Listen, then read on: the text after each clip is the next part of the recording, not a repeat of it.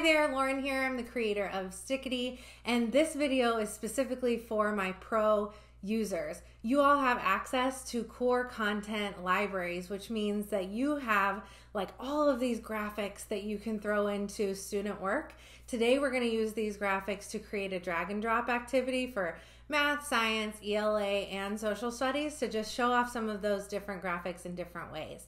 I have my doc open here, um, and I'll show you kind of how I built this in just a second, but I'll, um, I'll show you how it works. So essentially, I've pulled in this graph from Stickity and I've pulled in these coordinates from Stickity as well. And students, basically anyone who has access to um, edit this Google Doc can then move these coordinates, and I know that's not correct, but um, they can move these coordinates to kind of demonstrate their knowledge pretty quickly. This is a wonderful kind of check for understanding piece. It allows them to demonstrate knowledge quickly, and then it also allows you to very quickly grade. So let's say that you're kind of walking around and just checking for understanding.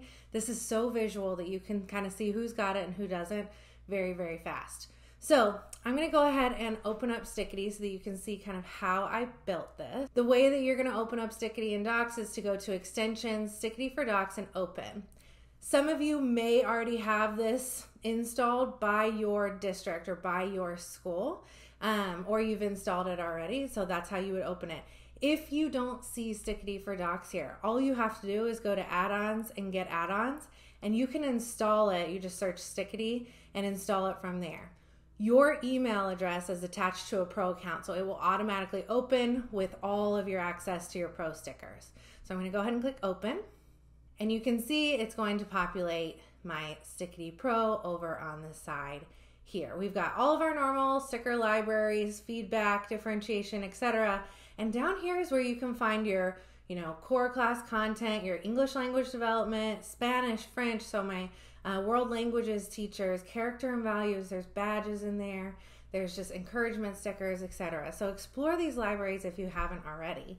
Um, but I'm going to go into math because that's where I got these stickers and I'm just going to show you how I made this table. In Google Docs, your tables are kind of your best friends. So I'm going to insert just a two uh, column single row table this helps keep our images in place, especially as we add text in a Google Doc. So I've got my tables right here. I'm going to add this graph right here as well. So I'm just gonna click on that. It knows where to go because my cursor is right here.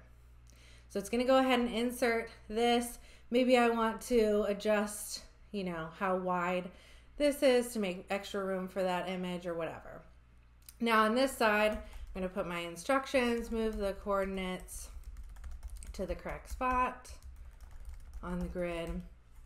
If you wanted to get extra fancy, you could put in maybe an instructions sticker here. There we go. I'll move this down a bit. And then I have my coordinate placement. So again, I'm going to insert another table just to keep things where they should be.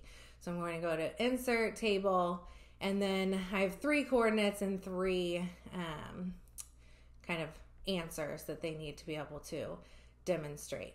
So this is starting to look just like that above. I'm going to just copy and paste these in since we already have this. And you, I'm sure, are thinking of other ways that you can use this in your class in particular. But watch the way that I treat these coordinates here. So I'm going to add in blue here, I'm going to add orange and then I'm going to add green. All right. Okay, so I've got my coordinates here. Now, they're not quite ready to move around because they're currently set to be in line with text. So if you move it, it's either going to go next to an image, below an image, etc.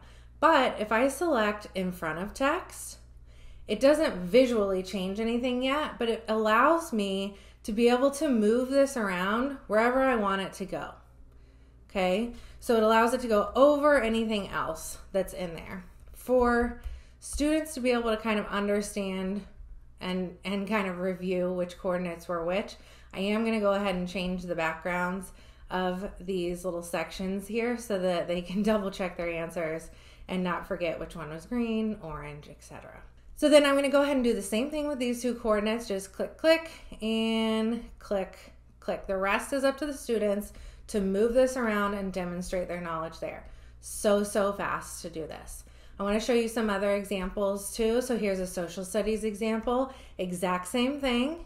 I, in my social studies library, I have access to a bunch of different maps. There's some that are labeled, some that are blank, some that have color, etc. Um, so you'll see a bunch of those there we can help ourselves kind of understand maps with these little animations here. And then underneath the maps uh, are little kind of pins or map markers. So I have my three map markers in here. They are all set to move with the text. So if I'm if you're asking them to label, you know, the beginning of a certain trail or something like that, then this is a great uh, way for them to be able to demonstrate that knowledge quickly. All right, there's all sorts of stickers in here that you can use. The same type of activity, so here's science. Um, and I designed this one a little bit more with the instructions up at the top. I also threw in a drag and drop reminder just to show them, like, okay, here's exactly what you're doing. I could label, you know, A, B, C, D, and E with like the, the parts of this diagram here. And all of these labels that you can find in the science section are um, able to move around. So I can move this around maybe to right here. I can move, you know, this one over here. I don't know what I'm labeling. I'm a designer, not a scientist, but um, but yeah. So it's super easy for students to be able to kind of um, demonstrate their knowledge very very quickly. This is also something that you can create in Google Slides as well. It just depends on what you want to be looking at to check for understanding here. And last thing.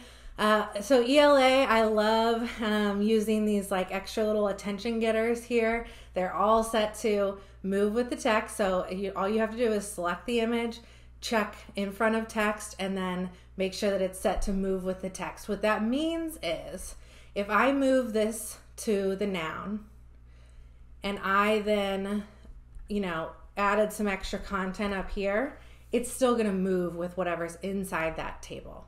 So I can move all of these to kind of show and demonstrate that I know what I'm talking about um, very, very easily. The ELA library is pretty cool because there's a ton of little pieces that can be moved around for, you know, fill in the blank type of things or drag and drop activities, um, allowing students to kind of, um, you know, just use their skills in a different way and for you to be able to visually check for understanding very, very easily in class. So, if you haven't tried a drag and drop activity with Google Docs and Google Sheets, this is a great time to try it. Just try one, maybe as a little mastery check in class and see how that goes. Um, of course, if you're having trouble, reach out, or if you are so proud of what you created, share it with me. I would love to see what people are making with this tool. Happy stickering, happy designing, happy creating. Have a wonderful rest of your week.